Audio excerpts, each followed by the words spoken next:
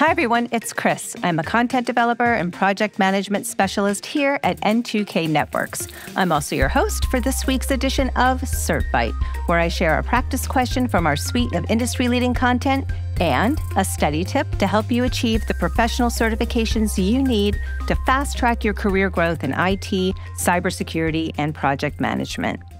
Today's question targets the Certified Associate in Project Management CAPM 7th Edition exam.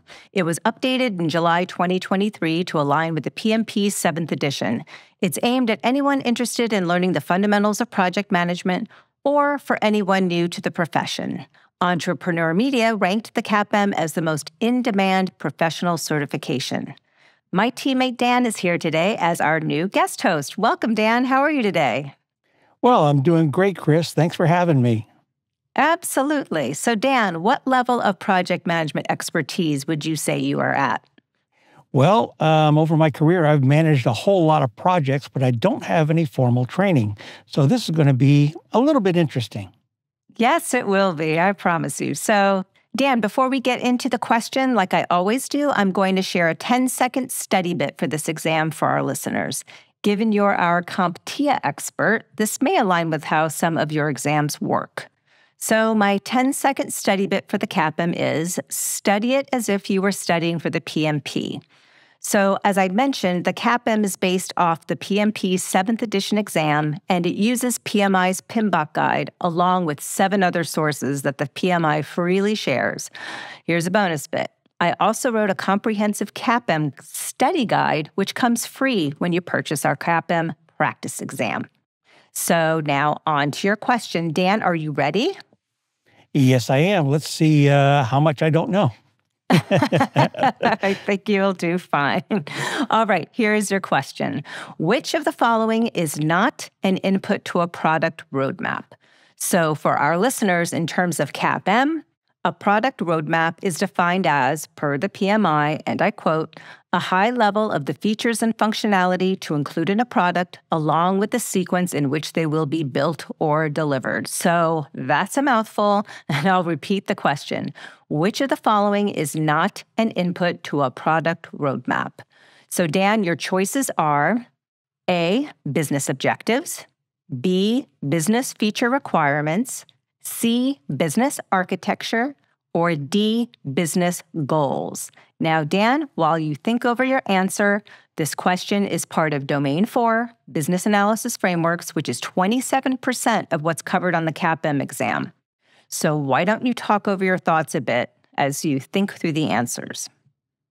Okay, so we are looking for something that does not belong, which is not an input to a product roadmap.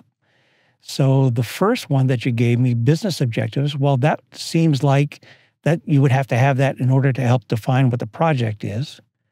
The business feature requirements, well, um, that would be part of a high level view of the features. Uh, business architecture, let's hang on to that. Uh, okay. Uh, business goals, um, high level view of the features and functionality. So the business goals and the objectives and the features, they all seem like they should be part of the project plan. So I'm going to take a shot just by elimination that it's going to be business architecture that is not an input to a product roadmap. And you are correct. The answer is C, business architecture. Good reasoning there. So, this is not an input to a product roadmap. It is defined as a set of organizational functions, documents, locations, processes, and structures that's a component of enterprise architecture. It's an input to assessing current and future states as part of a needs assessment, among other activities that are part of a business analysis and their processes and practices. So, the other answer options, business objectives, goals, and feature requirements, are all inputs to a product roadmap. And some of the main benefits of a product roadmap are establishing expectations for a project and prioritizing features. Any questions, Dan? Yeah, I, have got a couple. Uh, you okay. mentioned that this is part of the business analysis domain for the exam. Is this something new? Actually, it is. Business analysis is a new core concept in the CAPM 7th edition. And the reason why business analysis is so important is that it helps when creating or improving products, identifying and translating requirements, solving problems, determining solutions, and assessing stakeholder needs. Ah, great. Thanks for the clarification. The other one I have is that goals and objectives seem to be closely related. Um, are they defined differently according to the PMI standards? Great question. So they are defined differently, and these definitions come from a combination of PMI sources for the exam. So I'm paraphrasing. But a goal is defined as what an organization wants to achieve or accomplish, whereas an objective is defined as more of a quantifiable outcome that's required from a product, service, or result basically broad and overarching versus specific and measurable. And PMI's Business Analysis for Practitioners, a practice guide, has a great section about goal models and business objectives if our listeners would like to learn more. Well, thank you so much for being my project management test subject today, Dan. Well, thank you very much. I really appreciate the opportunity to be here. Absolutely. And for you project managers out there, in case you haven't heard, the next PMI major update is going to be the PMI ACP, which is the Agile Certified Practitioner exam. And PMI will be releasing that in November of this year, and N2K will have a practice test ready shortly thereafter.